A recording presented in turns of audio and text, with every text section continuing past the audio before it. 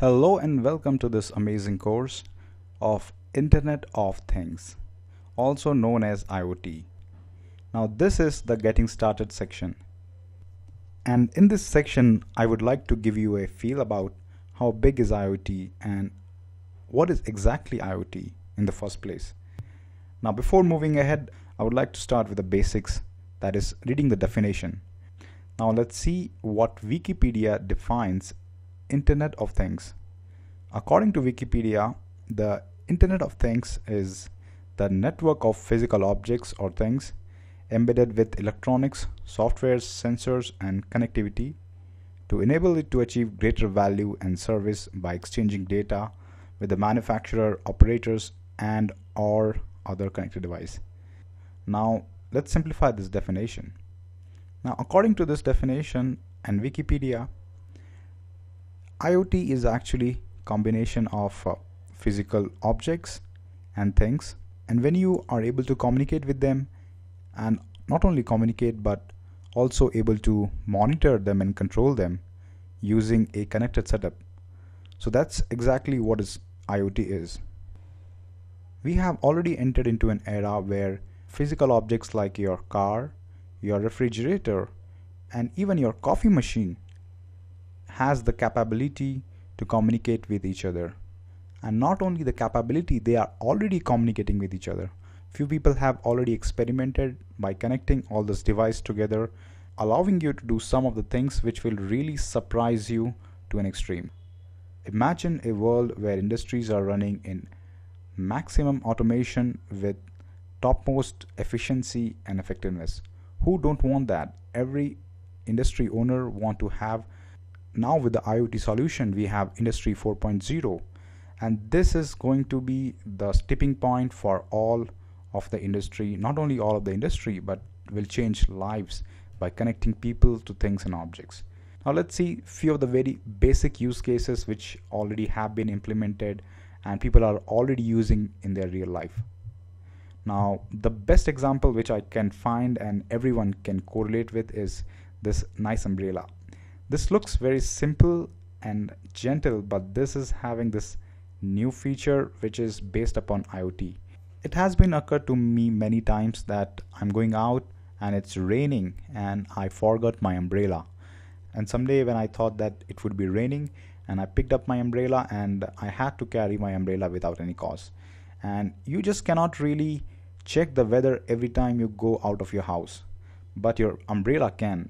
Now people have made the umbrella smarter by embedding this small device which will allow it to communicate with us and tell us if it's required. So this is the smart umbrella. Now moving on when we talk about our home so we have this connected home capabilities which is already been developed where your refrigerator your washing machine your lighting system of your home and your security system is interconnected. So for example you are leaving your office and uh, your home automatically knows that you are going to come. So it starts your room heater and uh, it will set the room heater into the temperature which is exactly to your office. This is one less thing.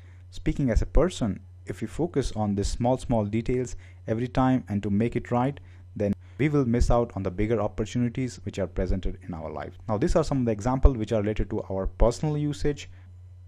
Now when we talk about big companies and big industries how they are going to benefit from IoT now there's been a discussion about predictive scheduling and predictive maintenance from a very long time.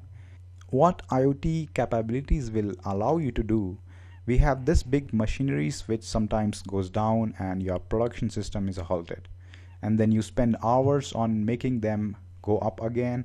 And by the time when they are down your whole production is stopped.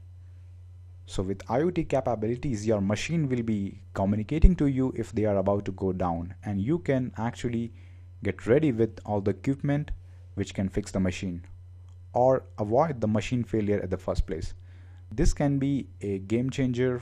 Now let's look at the numbers and let them do the talking.